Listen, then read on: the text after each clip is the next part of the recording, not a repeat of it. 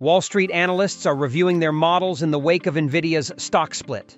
The paradigm shift represented by artificial intelligence, AI, is having a pronounced effect on the tech landscape, and nowhere is that more apparent than NVIDIA, NVDA 2.75%. The company provides the chips with the computational horsepower to power AI, driving its financial results and stock price into the stratosphere. NVIDIA stock is up more than 200% over the past year, resulting in a 10 for 1 stock split, which was completed just last month. Despite the stock's impressive run, Wall Street is reviewing its pricing models, and one analyst believes NVIDIA still has plenty of upside ahead. Before we begin, this video is not an investment advice and must do your own diligence. However, with my experience investing for years, the content from this video has a solid research foundation. Check our Patreon on the description below for an inside members-only access on what are the best buys now. We will also update you on what to sell for gains or to avoid losses. Subscribe to our channel so you will never miss out.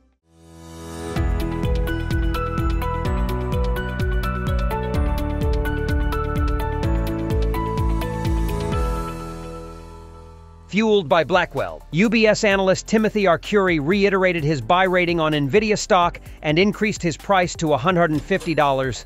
That represents potential upside for investors of 19% compared to the stock's closing price on Friday. The analyst believes that NVIDIA's recent focus on rack-scale servers is underappreciated and could spark additional gains for the chipmaker. In March, NVIDIA released details for its GB200 NVL72 system powered by its GB200 Grace Blackwell superchip. The processor contains two high-performance NVIDIA Blackwell Tensor Core GPUs, graphics processing units, and the NVIDIA Grace CPU with the NVLink chip-to-chip C2C interface. The platforms are packed with either 36 or 72 GB200 GPUs, delivering up to 1.8 terabytes of throughput per GPU. Arcuri's channel check suggests that demand for the Blackwell servers is exceedingly robust, noting that demand was materially larger than when he checked just two months ago. This could help push NVIDIA's earnings per share, EPS, to $5 in 2025. For context, the company generated split-adjusted EPS of 1.19 for fiscal 2024, ended January 28, so this represents a potential increase in profits of 320%. I think the analyst hit the nail on the head. Every time NVIDIA expands its domain, the company also increases its total addressable market and potential for greater profitability.